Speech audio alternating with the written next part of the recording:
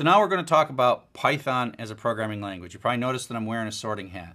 Um, the reason I'm wearing a sorting hat is that um, where I work at the University of Michigan School of Information, uh, we are in a building called the North Quad, and you can look it up on Google and find a picture of it if you like.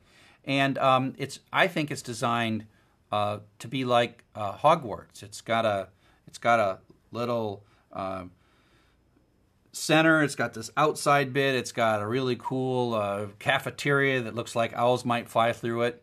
And so we moved to this a few years back when I started uh, teaching Python, and I was teaching my very, very first class in this uh, in this building, which we sort of lovingly call Quadwarts because it's North Quad, and we thought it was kind of like Hogwarts. And so I'm like joking, and you know I'm like I I, I wore a uh, my robes to class, and I said welcome to Quadwarts, and you have to wear your robes every time to class, and I was being funny and I thought, and I said, okay, let's let's just it's our first class. We're teaching Python, and let's do a sorting ceremony. I didn't have the sorting hat back then, so I have a sorting hat now. And so that's cool. And I, I'm like, you know, I'm like, I think I'm going to be in Gryffindor. And they told me, the students said that I couldn't be in Gryffindor. And I'm like, why can't I be in Gryffindor? Everybody wants to be in Gryffindor. And they told me that I was teaching Python. Python is like a programming language that's based on a snake. And even worse, my name's Charles Severance. And I'm like Severus Snape. And so they basically told me that I had to be in Slytherin.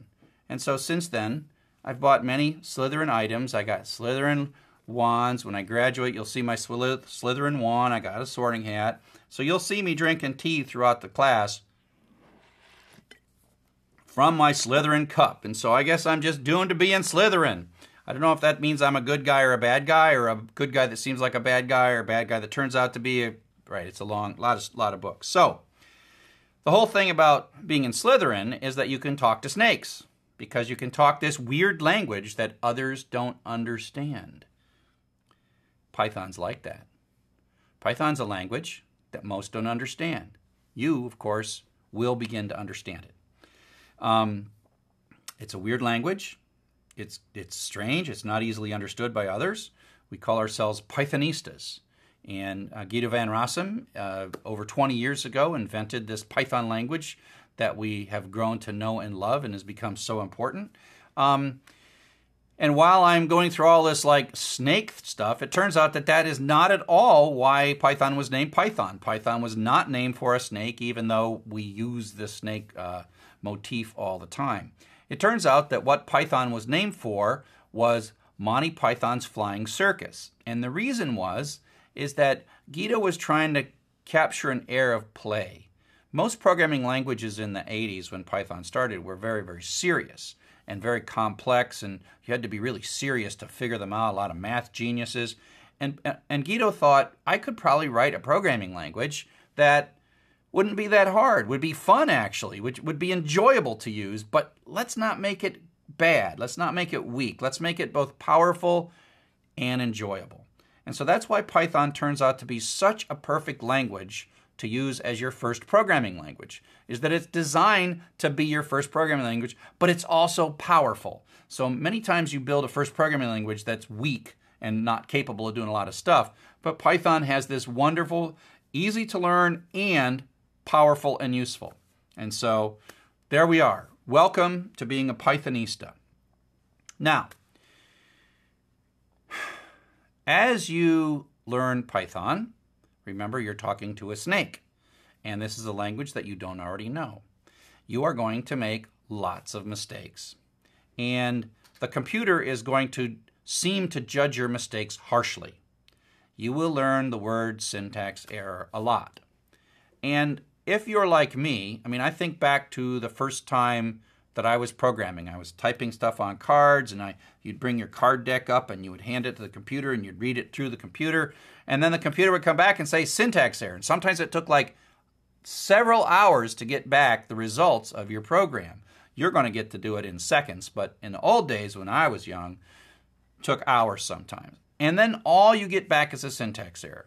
And when I first started programming, I grew to kind of hate the creature that lived inside the computer because I thought that the creature didn't like me. I thought the creature was value judging my uh, programs. I mean, I would write this thing and I'd think it's perfect and I would hand it in, and the computer would say, syntax error. And I'm like, huh? What's up? Syntax error. And then I would like, oh, okay, I'll, I'll, I'll make my program better, and, and here you go. Um, and say syntax error again. And the thing that you're going to have to learn is that syntax error doesn't mean that Python thinks you're bad. It is not a judgment of your ability as a programmer. It is not a judgment of your potential to be a programmer. Syntax error means Python is lost. You are learning Python's language because Python can't learn your language. You're smarter than Python. We can teach you. You can learn, but Python can't. And so when it says syntax error, even though you feel like it's a rejection, syntax error simply means that Python is lost.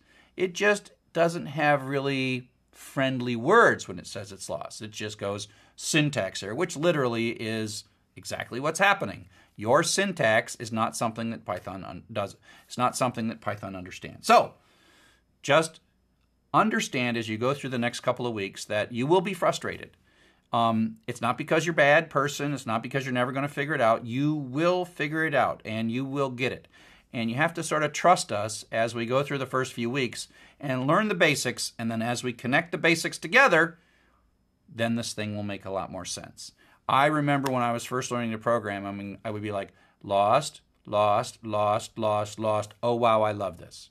And I expect that many of you will go through that exact same feeling, so you have to trust us. So, up next, we're going to actually talk about the Python programming language.